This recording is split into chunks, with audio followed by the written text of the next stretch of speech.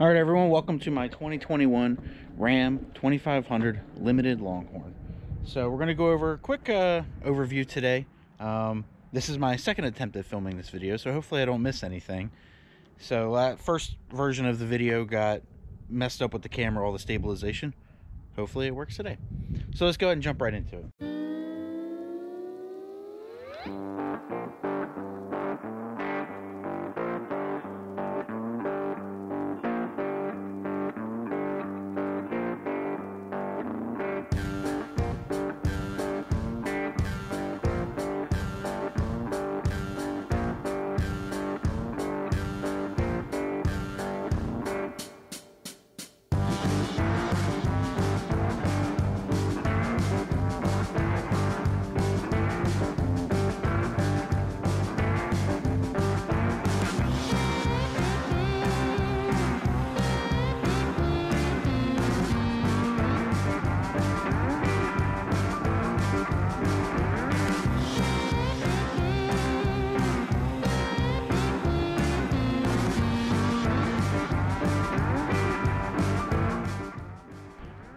So here we have my 2021 Ram 2500 Limited Longhorn Cummins 4x4.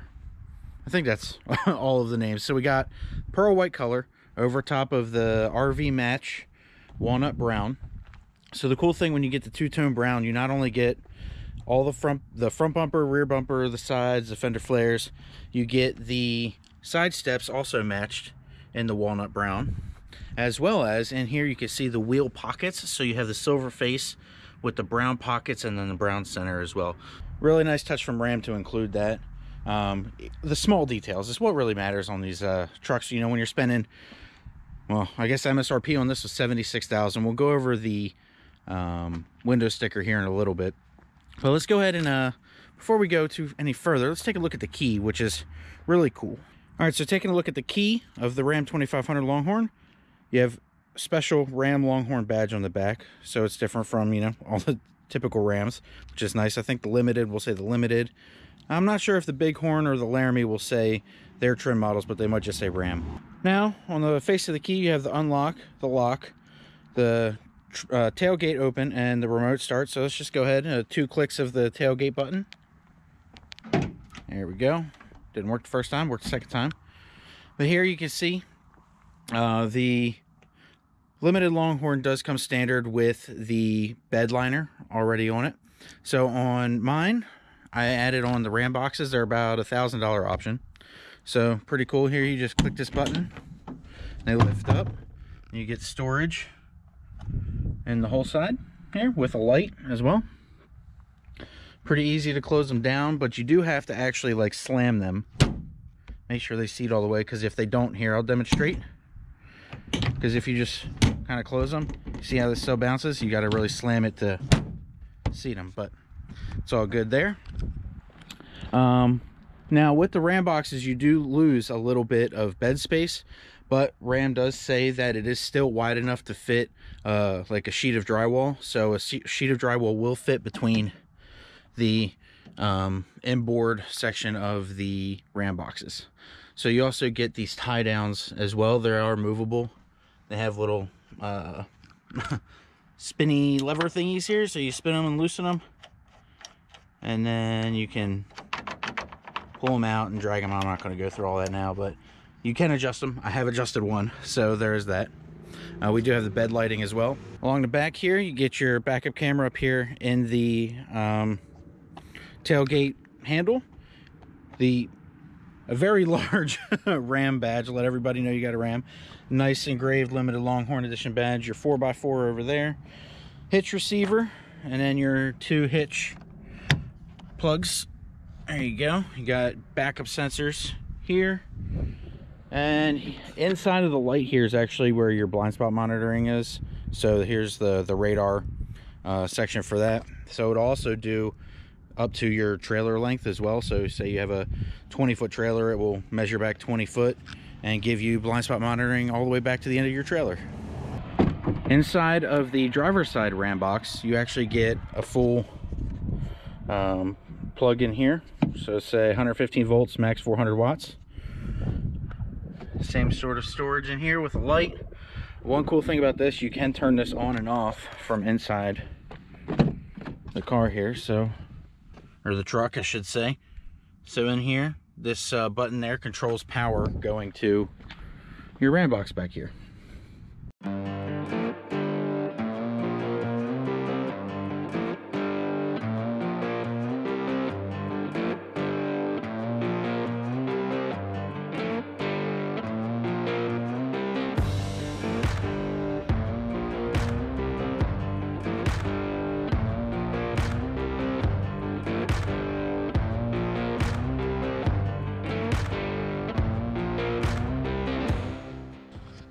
Right, so now we're in the back of the truck. Um, let's just go ahead and show you a couple things here. So the seats do fold up.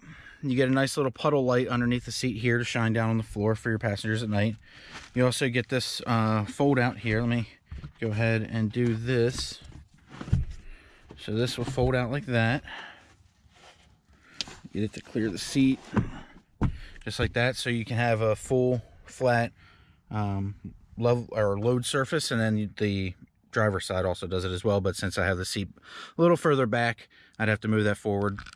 Um, the reason it's back is because there's actually a entry exit feature so when you turn the truck off the seat moves back further to allow you to get in and out of the truck easier. So let's go ahead and fold this up real quick. So got to fold it up here. You can also fold it up. You can see the one of the speakers here um, I guess if you had the full 19 speaker system, I don't, I just have the standard radio, you would get probably a bigger subwoofer or something like that here, but that's what we got. Um, one cool thing about the Rams, not all of them, some of them I'm not sure exactly which trims, but if you pop up the floor mat, you'll see under here is a nice storage area. You can actually remove the inner liner, so if you need to, if you want to fill it, you know, with drinks and ice and stuff, you can dump out the water um, when you're done with it. So it just latches down like that. Put that back down. All good to go. I do like how on the Longhorn, these mats come standard. You don't have to pay extra for them. So they're rubber outlined with a nice carpet um, on the inside. So you get a nice luxury feel where you put your feet, but then you get protection from the elements and whatever else happens to maybe spill on the carpets. You get that nice protection as well with the lip to help contain liquids or whatever happens. Um, one thing cool, nice little design touch. Got the barbed wire finish with the Ram logo over here in the middle. And then in the back here, as you can see, we have heated seats. We have two USBs, two USB-Cs, a nice little storage area above that, and then a traditional house plug. And then two cup holders. Two cup holders up top there, and two cup holders down here, as well as, uh, I was to say, room in the door handle. You might be able to squeeze a water bottle in there, but um, overall, it's just this is just a beautiful truck, in my opinion. Um, you do have nice little uh, saddle bag touch here with the, the belt buckle, and this just pops off. The actual buckle is not functioning functional, but just kind of magnetically clips in there, and then you have your standard pocket back here. And then in the middle, I almost forgot, two more cup holders. So you got six cup holders accessible to the back seat.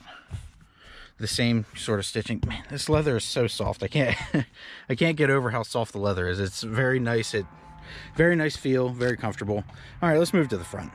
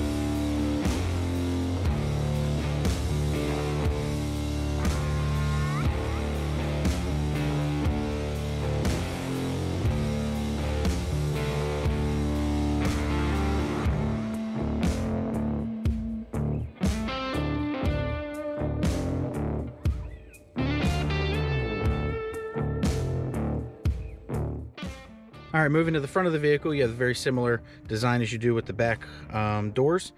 Got the wood, the alligator, the nice gold trim. The gold trim here actually very similarly matches the gold trim on the key. It's a really nice touch by Ram to continue the, not only the trim from the vehicle, but also to have it on the key, and it's a very nice touch. So you also get power folding mirrors, standard on the Longhorn. So boom, they fold it in, click the button again, they go out. then you can have all your mirror adjustments, windows, all standard Ram stuff. Two um, memory profiles for your seats. Now looking into the driver's cabin, you got a nice chrome-ish aluminum style Ram kick plate. The same style of floor mats that you have in the back of the truck. Now let's go ahead and jump in. All right, so to start the vehicle, you just put your foot on the brake and give it a start. Nice limited longhorn appears on the gauge cluster. All right, so the main thing that is gonna surprise you, I guess, if you haven't been in a longhorn before, is the attention to detail on just every sort of little piece that you can find. It's actually quite amazing. So like you can see here, there's even this, the same filigree pattern going along all the trim. This is real wood, like real wood, not plastic, no nothing. Um, got a nice embossed or stamped badge into the wood. It's just overall, it's just such a beautiful interior. Like everywhere you look, it says Longhorn or it has some sort of uh, pattern in the seats. Here's the window sticker. We'll go over that in a minute. But yeah, it's just absolutely stunning. All the leathers are soft. Even you have this wood on the steering wheel up top here. See, it's just very high quality. Just more wood down here. And then one cool thing, in the center console, if you don't want to look at this and you wanted to see more wood, there you go. Even more wood. Got the sliding center console, standard on most of the Ram. Well, this is a standard center console on Rams with the five passenger seating. If you get one with the six passenger seating, you'll get a bench seat in the front, but all the limited Longhorns do come with the five passenger seating with the center console standard.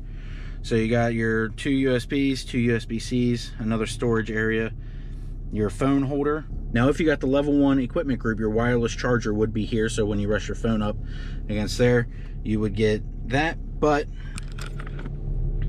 the reason I didn't get the level one equipment group is because I use Apple CarPlay. So in order to do that, you have to plug the phone in anyway.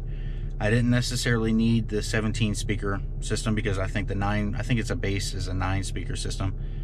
It's perfectly fine for me. I'm not a music junkie. I just kind of listen to it occasionally. Um, I didn't really necessarily need the power folding steps. Uh, this, the fixed steps on the side that are paint matched to the bottom of the truck. I think they look fine. They work fine for me. I didn't need the um, ones that fold in, but I think that's it for what comes on the level one group. Yeah, so it's not that many options. So like I said, you get the wireless charger, you get speakers, and you get power folding steps are the three big ones. And I think the price on it was like over $3,000. If you don't need those things, save yourself the money. Um, oh, and I think it comes, the level one equipment group does give you the 12 inch screen. But you can, as you can see here, I didn't get the level one equipment group. You can get the 12 inch screen separate from it as just a check on box option. So I have the screen, no level one equipment group. Everything works perfectly because I wanted a 12 inch screen. So moving on to the gauge cluster here. Um, had the speedometer. Now you got all your vehicle info, tire pressure, coolant temp, trans temp, oil pressure, boost pressure, diesel filter, oil life, fuel filter life, battery voltage, exhaust brake, and gauge summary, which is kind of what you really need more than anything. Engine hours. So keep moving on. So you do have off-road stuff here. So it has your pitch and roll and your drivetrain. So I'll tell you, here, let me see if you guys can see that. So as you can see here, it tells you which, um, the degree your wheels are moving and all that sort of thing. So you actually get off-road pages in the 12-inch screen as well, not just in the gauge cluster. So let's go ahead and wait for those to load up. So here you get vehicle dynamics. It'll tell you what, if you're in two wheel drive or four wheel drive. Accessory gauges, so you get a gauge cluster on here, kind of similar to the performance pages on the um, Dodges. And then you get the pitch and roll here as well, so it's a lot bigger. You get some nice fancy coordinates and your altitude. Um, pretty cool. I'm probably not going to use them because I bought this as more of a tow rig and not an off-road truck. But I'm sure there's people out there that will off-road their Longhorns, and if they do, you get the off-road pages to go with it. So also on this vehicle, I did get the safety group, which comes with the adaptive cruise control and the lane keep. So those are controlled through here. You got your adaptive cruise on the top.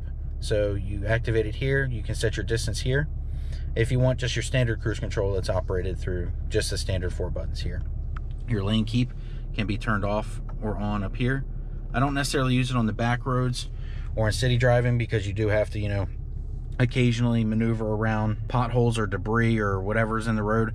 So I turn it off. I only use it mainly on the highways, um, especially when I'm towing. It works really nice to help keep the truck straight. So let's continue going through here.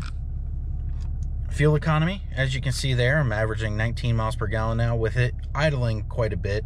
Um, I'd say on my typical drive, I'm getting about 20 to 21 miles per gallon uh, on my drive to work, which is mixed of uh, probably about 30 to 40 percent uh, city type driving and then about 60 60 70 percent highway driving so trip info standard stuff trailer tow you can do your trailer brakes um, trailer light check oh I was hitting the wrong button there so trailer light check and your trailer trip